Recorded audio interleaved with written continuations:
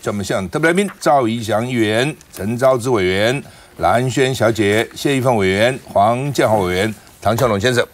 好，那么金门啊，这个这个两两个大名大陆渔船呢，那呃不幸啊，这过世的消这个消息到现在还在还在这个余波荡漾哈，看起来还完全没有要解决的迹象哈。国台办又痛批管碧林的很冷血哦，说撞撞撞撞船撞船的后果一切由台湾承担啊。那国台办呢也说这是管碧林个人的政治表演，陆委会说中共指控歪曲事实啊，两边吵架了啊。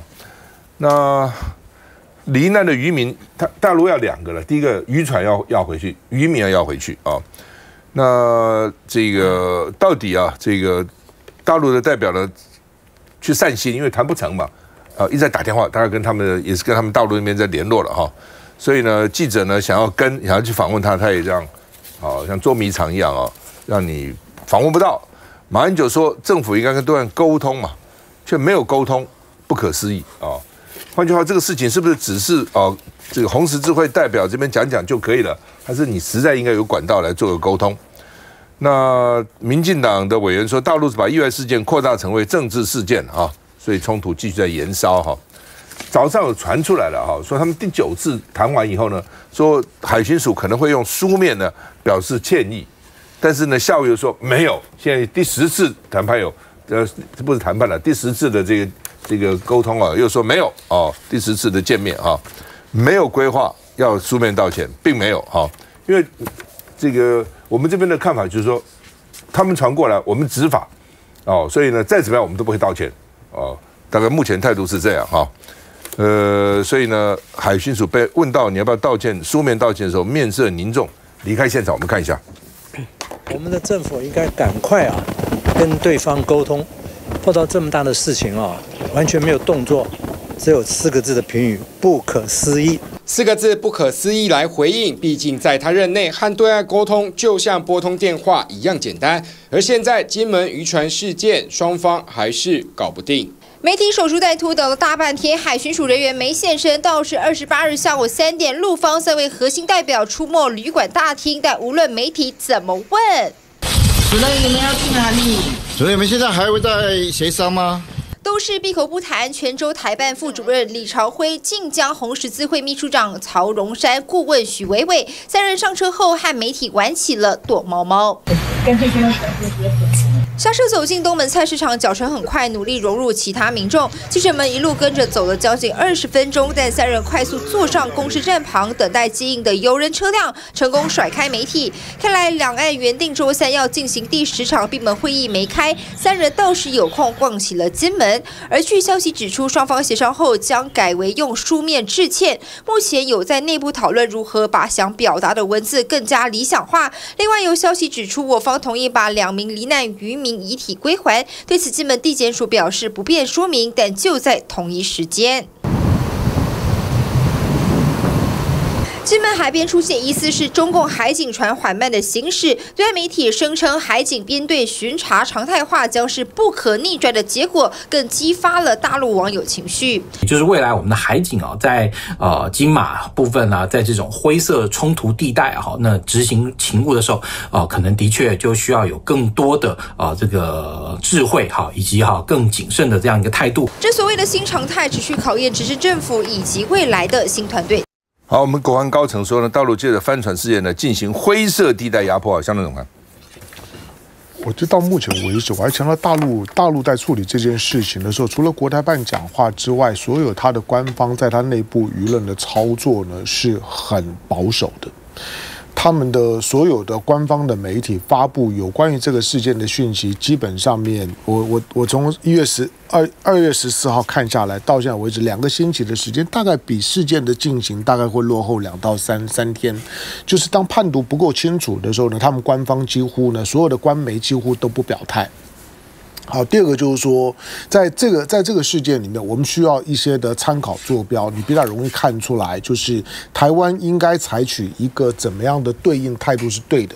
它不止在语语言上面，政治上面的口水不不谈。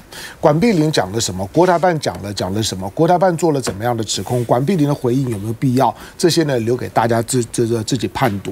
但是台湾有没有必要对于自己因为公部门执法所导致的死亡，采取一种的？死不认错，觉得只要是公部门的，我都我我都认为自己没有错。在二零二二零年五月的时候，在美国的明尼亚波利市那起很有名的就弗洛伊德事件，弗洛伊德弗洛伊德还还还还是犯法，被指控犯法，他使用假钞，那个假钞是不是他的？先先不管，这个叫做弗洛伊德四十六岁的黑人呢，被一个叫叫做呢肖文的一个白白人的警察跪在地上八分钟，当场跪跪死。跪死了之后呢，这个警察后来被判二十二年。请问你在在当时，不要说呢，大家觉得黑人的命也也也是命，全美国有没有哪一个系统呢会针对这样子一个字？那还是他自己国内的内部事务啊，纯粹呢就就是呢，警察呢对于对于呢另外一个疑似犯罪行为人的执执法，后来呢罪行呢是二级谋杀罪以及过失致死。这个事件的关键就是说，那个那个船是不是已经已经停下来了？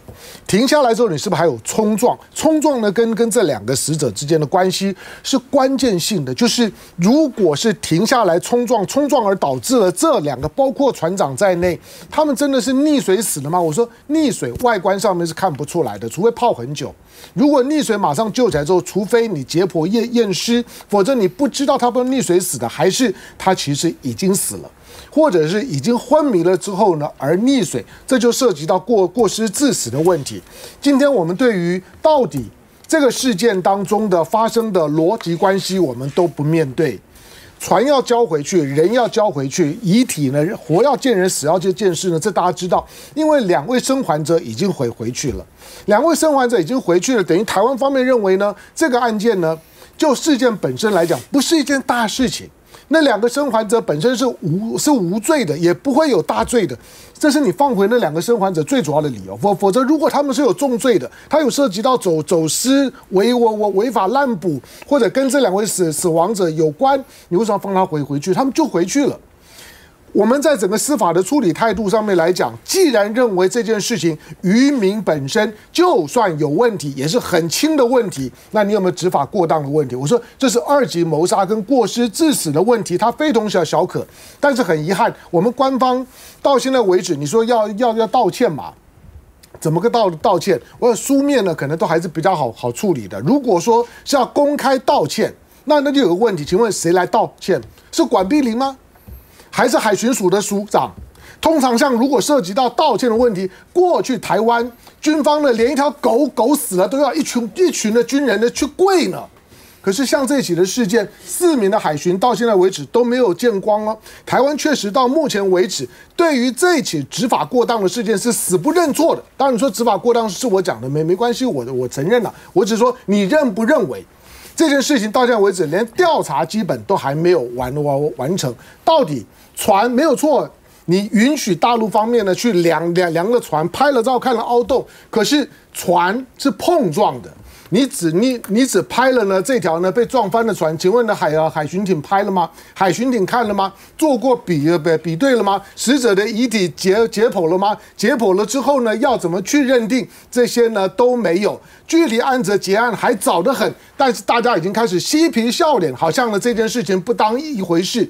这件事情在大陆的内部的舆论是很难安抚的。我觉得两岸之间的政治部门在对话的时候，应该要珍惜目前还可谈的情况，不要搞到后面不可谈就糟了。没影响。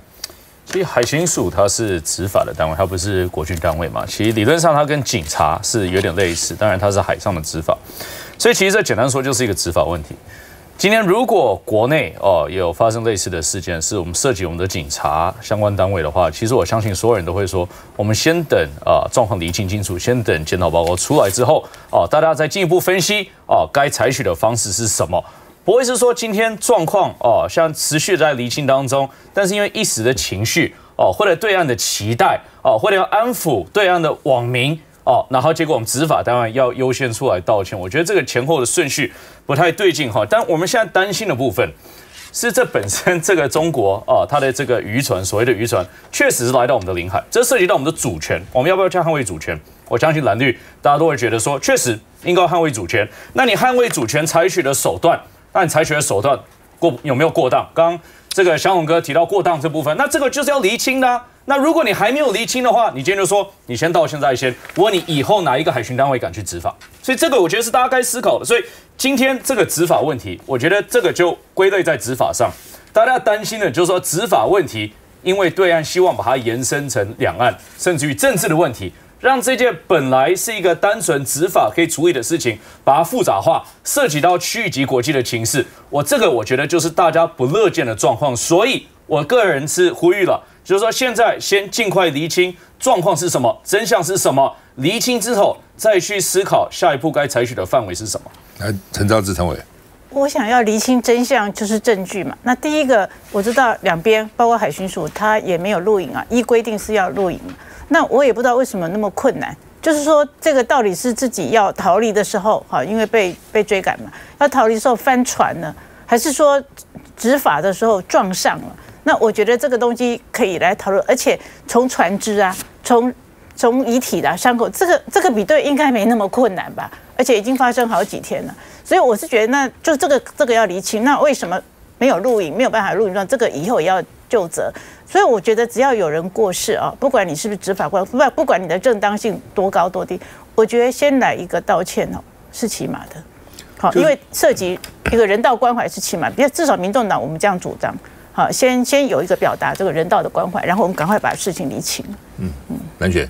对啊，我是觉得啦，我觉得其实到目前为止的话呢，事实上，呃，我们曾经一开始就讲说这个事情可大可小。你可以看得出来，这段时间以来，其实两岸并没有要把它搞大，就没有要把事情闹大。但是呢，好像大家也不愿意把这件事情就这样放过。哦，就好像这件事情似乎呃是一个可能契机哦，所以说它是可以积极发挥的时候，或者说它可以让它成为一个两岸之间的一个什么样的一个一个呃互动也好，或者说呃对岸来说，它可能呃因此觉得如果我们这边搞砸了，它有更多的理由可以呃这个超越我们的呃这个禁制海域等等等。那我们可能觉得哦这个怎么样状况底下，我们可能可以觉得说哦对方还是很二吧。我觉得对方像双方你说都没有搞政治嘛？我也觉得不尽然。但是这样搞政治是不是会把事情更搞得更糟？我觉得这是我我们要去谈的事情。就说对于呃这件事情来说，我一直觉得站在我们执法的状况底下，对方呃非法越界在先，我觉得这是一个事实。所以对我们应该要去执法，继续执法来说，我觉得这边没有异议哦。但是问题在于说，我们刚才看到这个陈昭志委员这样讲，我一直这样的主张，就是因为是人命的关系哦，所以因为是人命的关系，所以你表达一个遗憾，看你用什么样的措辞，你表达遗遗憾，你表达呃道歉，我觉得都是一个可以容忍，而且应该要有的范围。就说我们我们也讲了，如果在台湾呃我们自己本身来看，你说一个呃如果说一个违规啊，不管是什么闯红绿灯啦，违规左转啦，哇，然后突然之间警察就哦一哦一追他，如果你追追追追到最后，让对方因此而撞撞车，然后呢，不管是撞到安全岛，撞到哪里去，然后致死，你觉得我们会怎么处理？我们一定会针对这样的一个人命的呃意外的呃这个这个呃陨落，我们会表达我们的遗憾。那即便说警察警察本来就应该执法，没有人去质疑警察不应该执法。但是我觉得这件事情，如果是你先表达之后，如果对岸还是这么的说哦你冷血啦，你怎么样的话，那这个时候我觉得对于我们来说，我们更有理由说哦这是对方可能刻意去操作。但我们连一个最基本上面的人命的关怀，我们都不愿意表达的时候，一直觉得说这个事情好像哦站在立场上面，呃如果我们表达的话呢，海巡署的官员会觉得那我们情何以堪？会这个样子吗？是我们政治上面这样的自我揣想，还是真的我们的人一点疏失都没有呢？哦，所以我觉得这件事情所谓的情理法，法理情啊，站在两两岸尤其是敏感的状况底下，法当中是不是有情的成分在啊？这是第一个。第二个，我觉得司法，我们一讲司法证据，清理尽快。我觉得如果说一直拖拖拖拖拖拖的话，你说要厘清真相，等到真相出来的时候，两岸的关系可能又是雪上加霜。基本上就换个角度了哈，换位了。我们这样想，如果说我们的船渔民到大陆去捕鱼，他的海警执法，不管他怎么指，我们不知道。然后反正就是经过这么一段，死了两个人，台湾民众会怎样？